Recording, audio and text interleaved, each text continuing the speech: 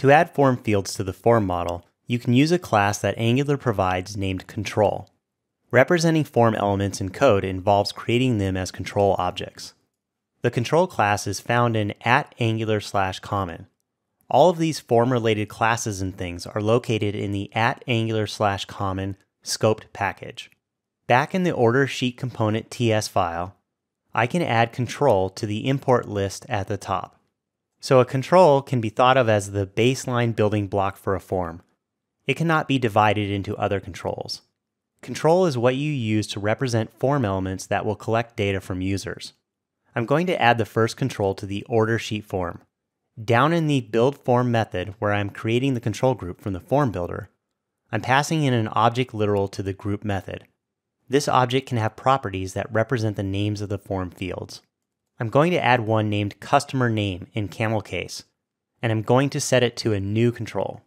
The control constructor can take in the value to set the control to as the first argument, and a validator function as the second. You can also call it with no arguments and it will set the control value, which is the form field value, to null by default. I will cover validators in a later video.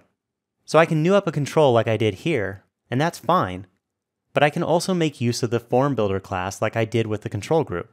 I'll replace this instantiation of a control with a call to this dot underscore form builder dot control. This form builder control function is expecting at least one argument, so I'll set that to null. Now you could set this to an empty string as well. That really just depends on how you want to handle your form data. If a user doesn't fill out the field, then this will be the value in the form object for that field. The order sheet in this app has a couple of other basic controls that I can set up in the same way.